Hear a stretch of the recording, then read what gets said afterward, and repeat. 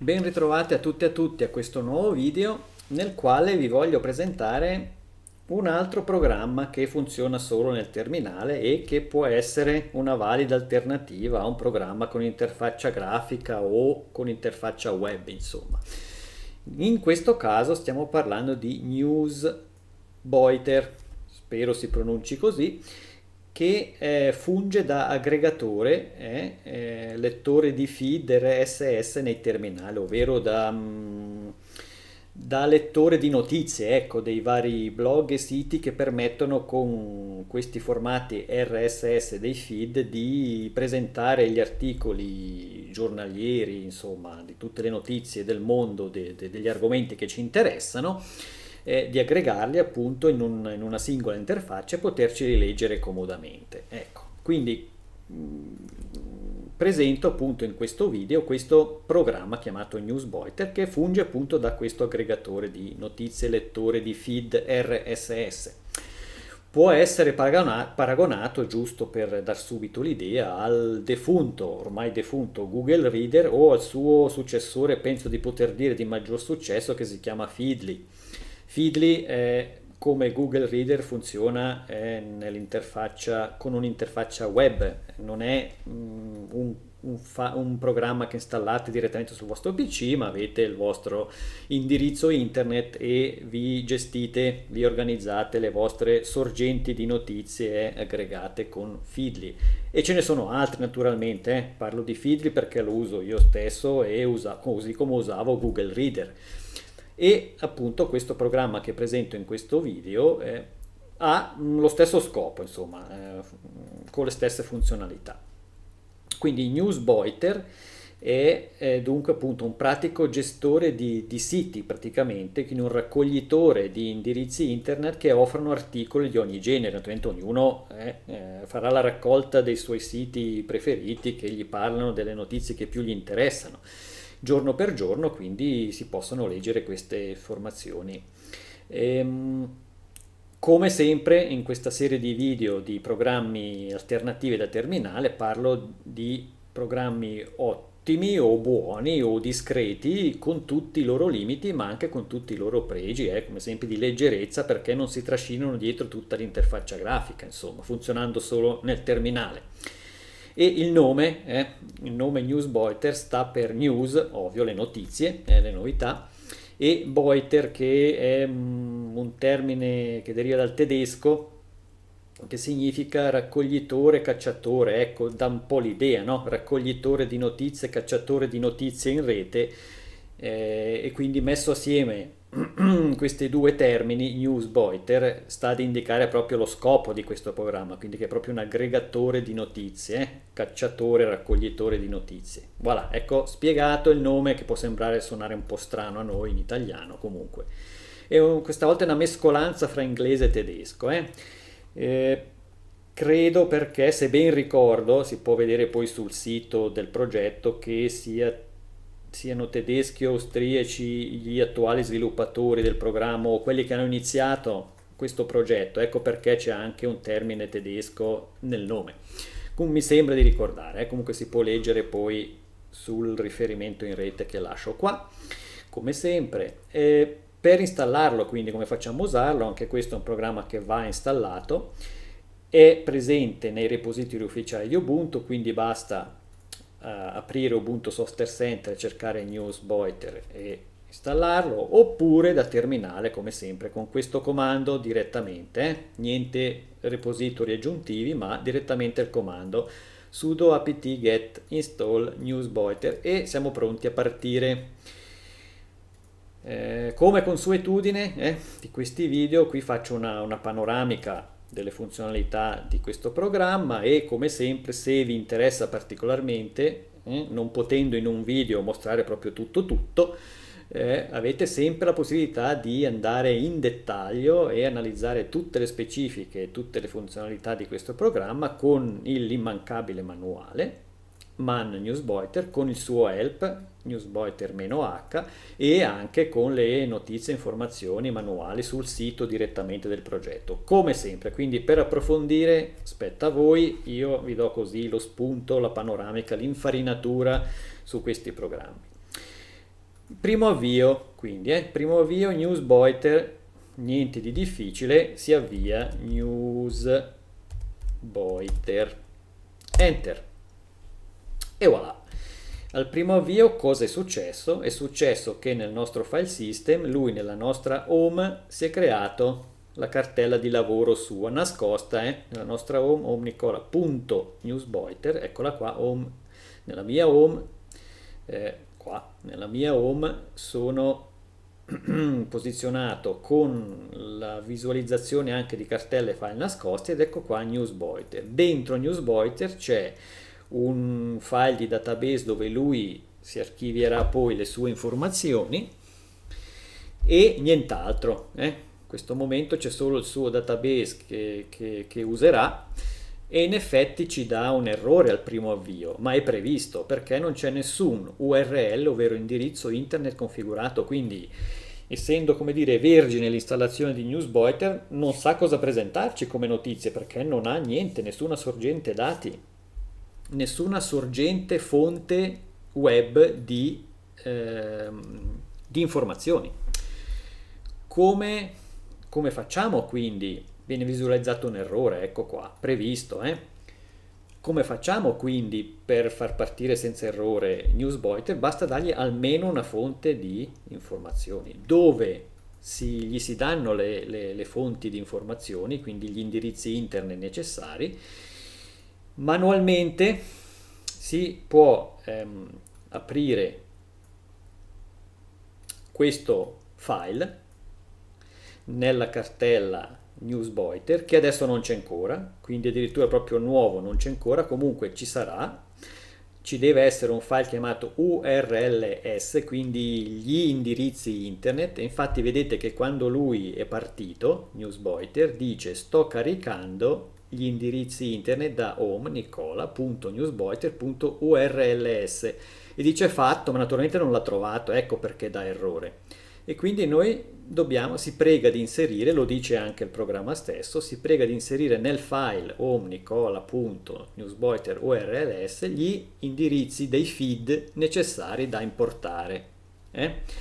e newsboiter ehm, utilizza per nostra fortuna lo standard OPML che è lo standard per questi programmi. Quindi sia Google Reader a suo tempo sia Feedly sia tutti gli altri programmi che gestiscono che sono aggregatori di notizie come questo usano eh, questo standard OPML per esportare o importare da un programma all'altro queste ehm, come dire raccolte di sorgenti di notizie.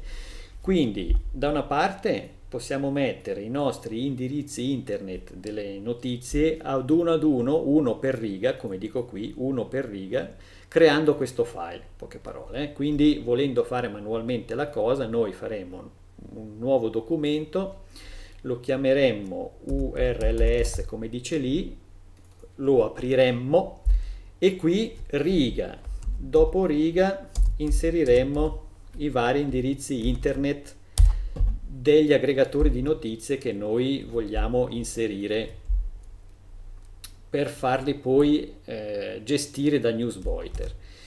Non, non, volendolo fare manualmente adesso per questo video, quindi eh, diciamo che il principio è semplicissimo, eh? si crea il file e gli si mette uno per riga, indirizzo http slash bla bla bla bla bla. Eh, usando io già Feedly eh, c'è ehm, la possibilità appunto usando sia Newsboiter sia Feedly lo stesso standard OPML di scambio dati di questo tipo io posso esportare o importare queste fonti dati. Quindi io l'ho fatto. Dal mio Feedly ho fatto un'esportazione eh, con l'interfaccia web in file OPML vedete delle mie fonti che, che, utilizzo tutti i giorni di notizie tecniche varie che mi interessano e adesso lo importo in Newsboiter per non dover fare manualmente il lavoro di compilare questo file manualmente. Eh? Quindi cosa facciamo?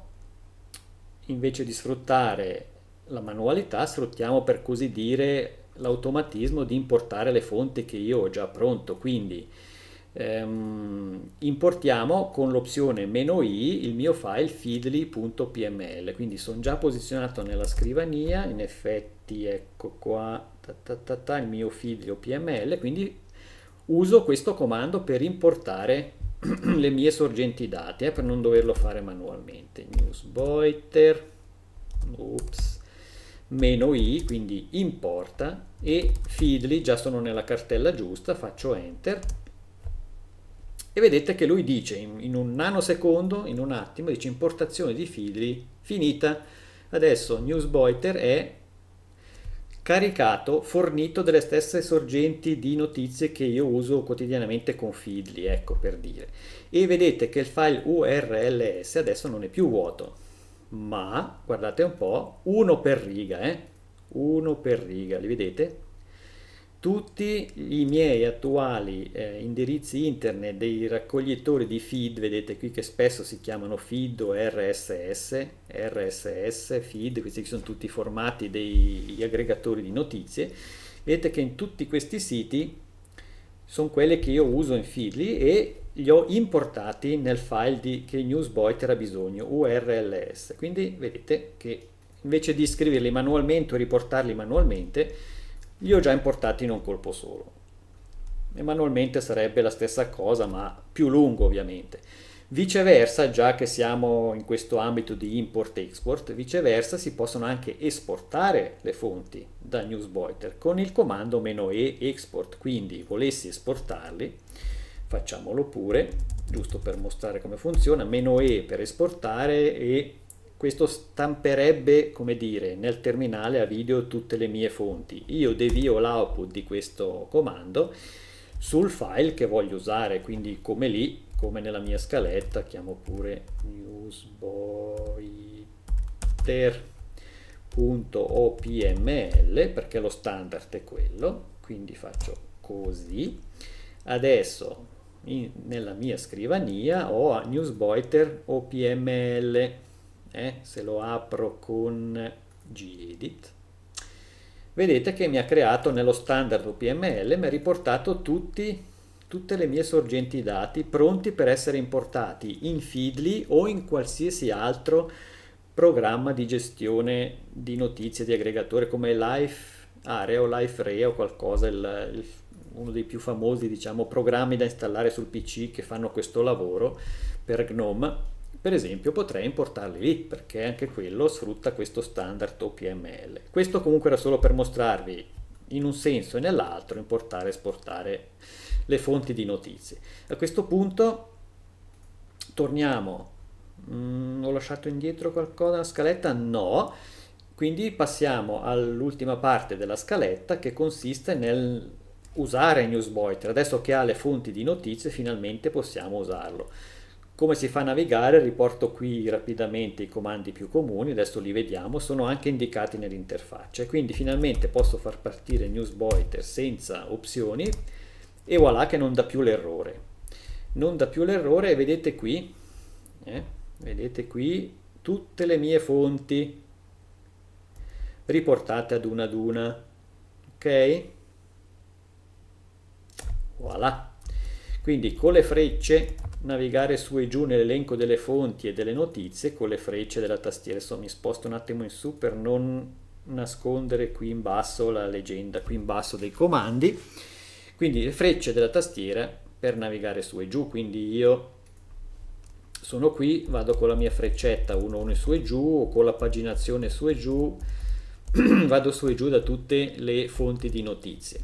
Ehm, il tasto R, come dice qua, ecco qua, ricarica, qui dice ma carica barra ricarica una fonte di notizie selezionata. Quindi vedete qui, ehm, qua, vedete qua, c'è 0 di 0. Eh, vedete che tutte le fonti di notizie appena aperto Newsboy sono 0 di 0 perché lui non va ad accedere a tutti questi indirizzi internet per caricarsi le notizie in un colpo solo, ma lascia scegliere a noi naturalmente, questo anche per questioni di, di leggerezza e di traffico di rete. Quindi sono tutti a 0 a 0, adesso nessuno di queste fonti di notizie ci presenta nessun articolo perché sono 0, 0 caricati. Ecco, se io mi posizionassi in questo make tech easier, easier eh, faccio enter per entrare perché enter è per aprire una fonte di notizie. Ecco enter apri. Quindi faccio enter. Lui mi dice errore il feed non contiene voci perché non l'ho ancora caricato. Ed ecco perché entra in gioco il comando R. Adesso faccio R su quella fonte di notizie qui eh, selezionata. Schiaccio R. E vedete che magicamente mi, mi appare una N qui per dirmi ci sono dei nuovi articoli per questa fonte di notizie e sono tutti nuovi in questo momento, 20 di 20 perché non ne ho letto neanche uno, però vedete che questa fonte di notizie è sparito l'indirizzo URL, è apparso il nome e mi dice ci sono 20 articoli a disposizione. Adesso sì che se faccio enter mi entra ed eccoli qua i miei 20 articoli. Eh? Eccoli qua. Eh, l'intestazione dice eh, newsboiter, vabbè, articoli nel feed make tech easier, 20 non letti di 20 totali, perfetto, è molto semplice da usare come interfaccia, molto intuitiva anche questa. Come faccio a leggerli? Enter sempre per aprire, quindi non solo le sorgenti di notizie ma le notizie stesse, quindi enter. Il Q è per uscire, per tornare all'elenco, quindi Q torno all'elenco. Q uscirei da tutto il programma ma non voglio, faccio enter per rientrare. Enter apro una notizia, per esempio la, la seconda notizia, e qui c'è il testo. Ovviamente, essendo un programma da mh, interfaccia caratteri, da terminale, non ho le immagini non ho tutta la grafica delle notizie come siamo abituati con Feedly, Google Reader e Liferea e altri programmi che ci presentano proprio le pagine internet complete. Qui vedete che se c'è un'immagine, c'è scritto che c'è un'immagine ma non la vedo. Eh? Vedo però il testo della notizia che in fin dei conti molto spesso è poi quello che mi interessa. Con le frecce su e giù posso scorrere la notizia. Eh? Vedete con tutti i riferimenti tutto quanto, quello che è, tutta la pagina praticamente internet a parte la grafica, eh? la pagina internet della notizia del sito a parte la grafica c'è, posso leggere quello che mi interessa. Qui in basso appunto c'è sempre tutti i tasti funzione che servono. Qui dico N per passare direttamente alla prossima notizia, in effetti N dice prossimo articolo non letto.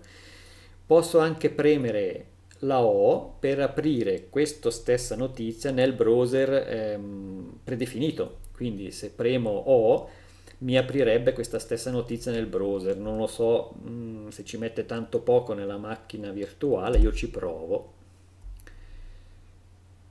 Eh, vediamo se lo fa. Impossibile trovare... Non lo so, eh, non l'ho mai provato, provo adesso così, ma non so se lo apro o non lo apre, vediamo cosa fa. Qualcosa sta aprendo. Vediamo un po' il browser predefinito. In questa macchina virtuale Firefox e non Chromium, vabbè, poi uguale. Vediamo se funziona, come si deve. Eh sì, eccolo qua. Quindi in sé funziona, eh. è uscito da Newsboiter, quindi lo abbandona quanto vedo, adesso non so se qua cosa devo fare. Ah no, CTRL C e ritorna dentro, perfetto, però mi chiude anche il browser, eh. Eh, questo non l'avevo provato prima di registrare il video, quindi se premete O per aprire nel browser, lasciate il terminale com'è, leggetevi la notizia nel browser, poi fate CTRL C per tornare al newsboiter, però questo vi chiude anche, vedete, la finestra del browser, quindi sappiate che finché volete tenere aperto il browser lasciate stare al terminale, poi CTRL C e tornate il controllo al newsboiter, eccolo qua. E n appunto, se premete n, passiamo al prossimo articolo non letto, che era quello seguente, eccetera, eccetera. Poi, se vogliamo cercare delle parole fra le notizie, usiamo la, la barra, la slash qui, la barra, e diciamo cosa vogliamo cercare. È molto pratico anche che non distingue maiuscolo e minuscolo, eh? quindi, bah, che ne so, se voglio cercare sharing, eh, vediamo un po', faccio vedete eh, ho schiacciato la slash, la barra e lui mi propone qui in basso ricerca, il campo ricerca, io cerco sharing faccio enter e vedete che tutte le parole sharing di questo articolo vengono evidenziate. Posso cercare quindi anche in tutto l'articolo dove si parla della parola sharing. Con la Q ho detto ritorno all'elenco degli articoli, vedete che i due che ho letto sono diventati bianchi e gli altri sono quelli non letti, quelli in violetto un po' meno evidenti. Quelli in evidenza sono quelli che ho già letto, ho già aperto.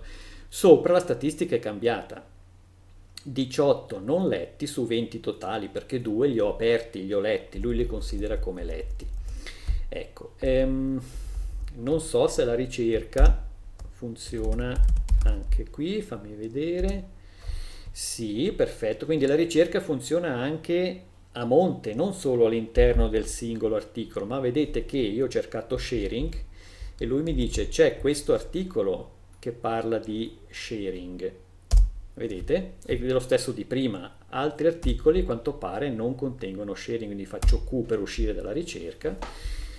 Eh, vediamo una parola... Hmm, una parola che ne so, Windows. Ecco, mettiamo che io voglio cercare Windows. Faccio qui nell'elenco degli articoli, io cerco Windows. E qui ci sono già più articoli, fra i quali 4 non letti che a quanto pare contengono da qualche parte la parola Windows. Vediamo un po' se è vero. Windows due volte, le vedete lì evidenziati. Eh, vediamo un po'. Il primo articolo qui, vedete Windows, vedete quello in giallino. Quindi lui cerca anche fra gli articoli letti o non letti, lui cerca, vedete che c'è almeno una volta Windows, posso cercare proprio globalmente anche la parola che mi interessa in mezzo agli articoli. Ecco, questo per esempio è una funzione interessante che io in Feedly non avendo pagato per un account eh, avanzato a pagamento non posso fare delle ricerche di questo tipo in Feedly, ma in Newsboiter sì. Ecco, per esempio, vedete, meraviglie dell'open source, dei programmi che sembrano così semplici nel terminale, ma in realtà sono molto potenti. Comunque avete visto anche la ricerca, eh? la ricerca a tutti i livelli, sia nel singolo articolo che nel gruppo di articoli. Molto interessante questa ricerca con la barra, con la slash. Ecco, con questo ho in fin dei conti già terminato la presentazione, la panoramica di Newsboiter, perché è molto semplice, c'è scritto in basso cosa si può fare.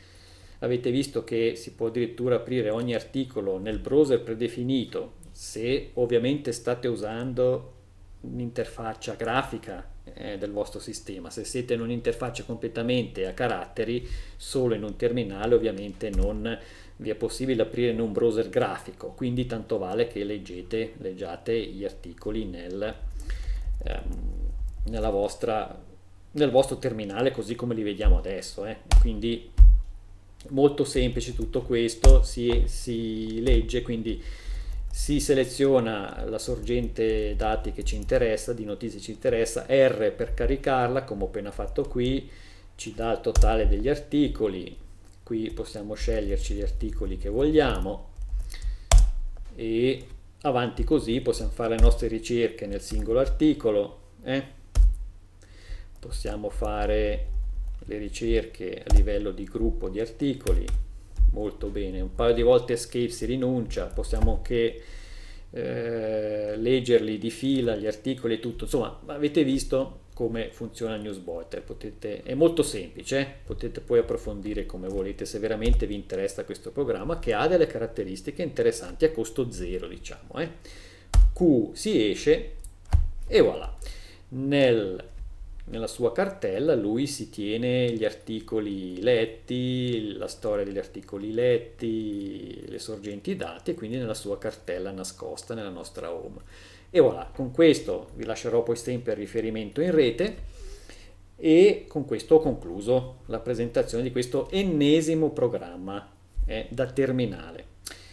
Voilà, con questo vi lascio, vi saluto e vi attendo alla prossima. Ciao ciao!